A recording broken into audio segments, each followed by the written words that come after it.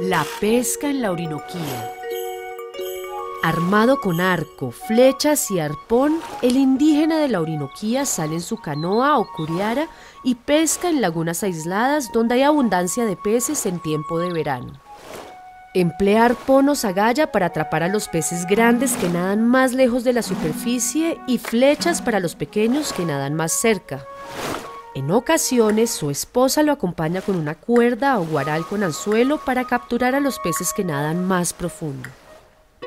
Emplea nylon y anzuelos metálicos, pero antiguamente sus abuelos usaban hilo extraído de las hojas de la palma de cumare y dientes de hormiga jaliji como anzuelo. Las puntas de las flechas o pullas son fabricadas por los propios indígenas con el metal de machetes viejos moldeados a fuego y martillo. También pescan con trampas, grandes y pequeñas, elaboradas con varas y fibras naturales, empleadas de acuerdo al nivel del agua en cada época del año.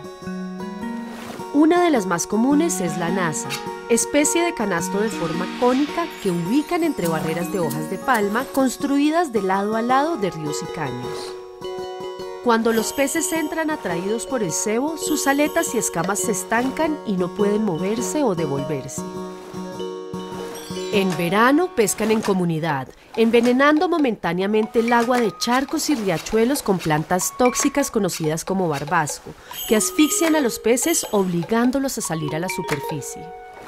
Palometas, cachamas, pirañas, sardinas, bagres, tucunares, zapuaras, entre muchos otros, son la fuente de proteína de los grupos indígenas de la Orinoquía.